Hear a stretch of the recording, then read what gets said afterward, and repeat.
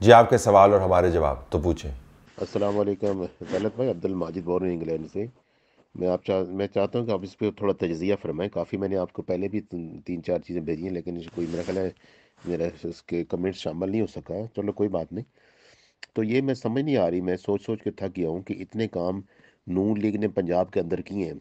तो पहली बात है, जो जीते हैं, वो भी बड़े ही लिमिटेड मार्जिन से जीते और जो है, ये पहले तो कह रहे थे, जो सोलह महीने, अठारह महीने की पीडीएम थी पीडीएम क्या सारा नजला शबाज शरीफ के ऊपर, नून लीग के ऊपर गिरा। उन्होंने सिंध के अंदर पीपल पार्टी ने क्लीन स्वीप किया है। के पी के में इन्होंने अपना आज़ाद उम्मीदवारों ने क्लीन स्वीप किया तो वहाँ पे क्या था? क्या कारकर्दगी थी? मुझे तो समझ नहीं आ रही कि ना वहाँ पे कारकर्दगी है, ना सिंध में कारकर्दगी है। तो ये सारा नजला ये पंजाब में क्यों गिरा है? इतने काम करने के बावजूद भी इनको कोई जो है ना, नून लीग को कुछ भी नहीं मिला। आप यकीन माने कि आपने पिछला देखा होगा, पूछें। सैकड़ों सवाल हैं जो यही उठा रहे हैं सवाल। कि जी, और जगह पर आपने कौन से वोट बड़े कारनामे किए हैं? आपने दूध और शहद की नहरें बहा दी हैं कि लोग वहाँ पे वोट डाल रहे हैं। तजियाती तौर पर मैं दोबारा पिछले भी मैंने पूछे, में बताया था मैं लेंस इस्तेमाल करूँ। अगर तजियाती तौर पर मैं तनकीदी लेंस इस्तेमाल करूँ तो मैं ये कह सकता हूँ कि पंजाब के अंदर हेट वोट डला है। लव वोट नहीं डला, हेट वोट डला है।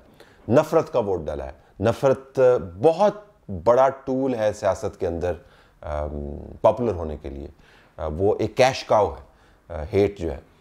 तो हेट के ज़रिए नफ़रत के ज़रिए फ्रिक्शन के ज़रिए विक्टमहुड के ज़रिए, तमाम जो नेगेटिव हैं लोगों के जेन के अंदर आपने डाला है और उसकी वजह से आपने वोट हासिल किया है और पनिश किया है पीएमएलएन को। ये जो आपने सवाल किया, वैसे इसके अंदर मैं एक चीज़ और भी ऐड कर दूँ कि मैंने पंजाब के अंदर देखा जो केयर टेकर हुकूमत थी पंजाब की, उसके अंदर भी नून लीग के हलकों में डेवलपमेंट के काम रुके नहीं है। तो डेवलपमेंट का एक हमने समझा था कि वोट मौजूद है। लोगों को अपने कामों से गरज है, लेकिन वो वोट भी नहीं मिला। अब वो वाइट पेपर वगैरह तैयार कर रहे हैं। मरीम औरंगज़ेब ने प्रेस कॉन्फ्रेंस भी की है जिसके अंदर उन्होंने बताया कि फॉर्म 45 के जो चक्कर हैं, इनसे वो खुद भी चकराए हुए हैं।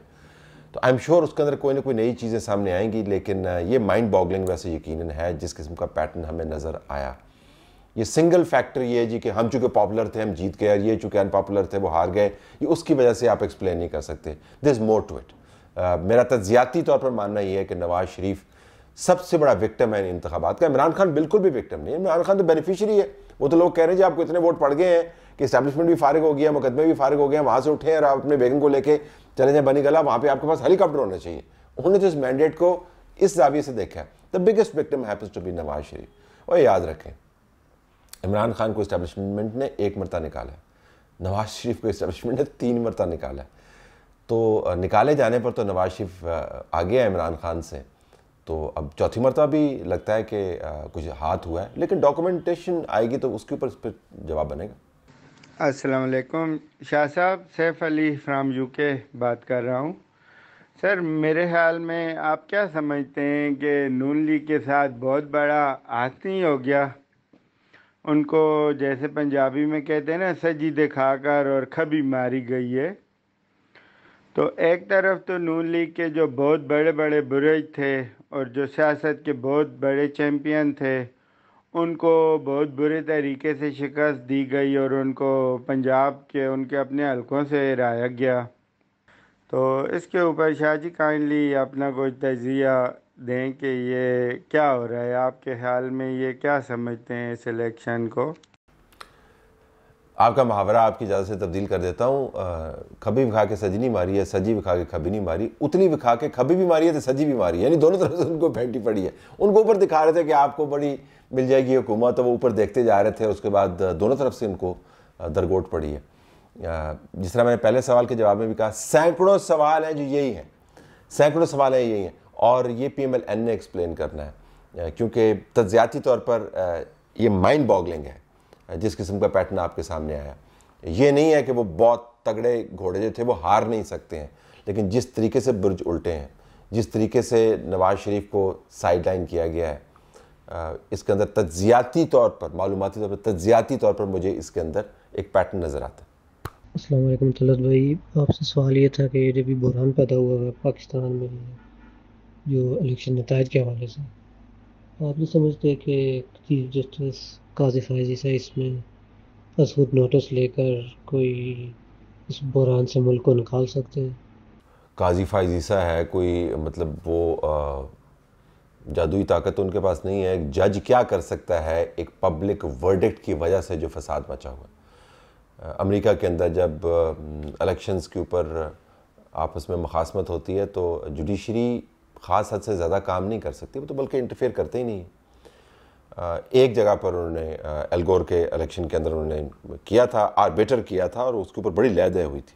लेकिन वो चूँकि मामला तय नहीं हो रहे थे तो उसके ऊपर उनको एक स्टैंड लेना पड़ा। लेकिन यहाँ पर तो हर जमात सामने आई हुई है।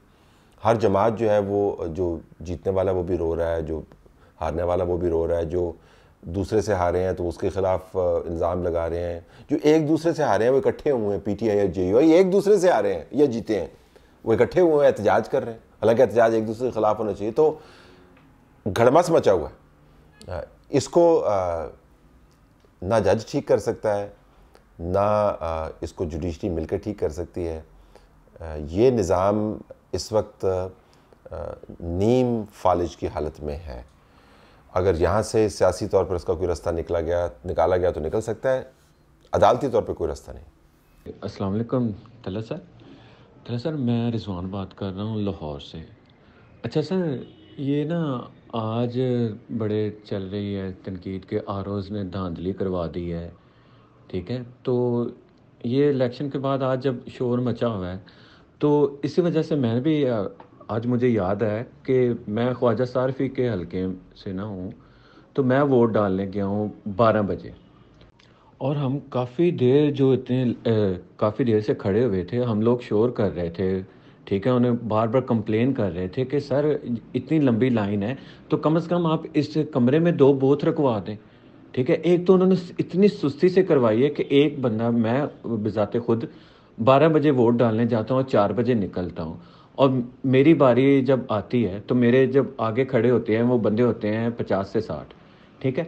और जब मेरी बारी आती है तो पचास साठ बंदों के और पीछे तीन सौ बंदा खड़ा होता है। तो इतनी सुस्ती, इतनी, कह लें नाली तो ये क्या धांधली के ज़ुमरे में आता है कि नहीं आता? मैसिव धांधली के ज़ुमरे में आता है जी। वाटर प्रोसेसिंग को स्लो डाउन करना मैसिव धांधली के ज़ुमरे में आता है। और अगर किसी पार्टी के आप, और सौ पोलिंग स्टेशन पर ही करना होता है आपको, या पचास पोलिंग स्टेशन के ऊपर, एक पचास के ऊपर आपने ज़्यादा डलवाने होते हैं, जल्दी से, कुछ करने की ज़रूरत नहीं। दूसरे के ऊपर आपको पचास के ऊपर स्लो करना होता है।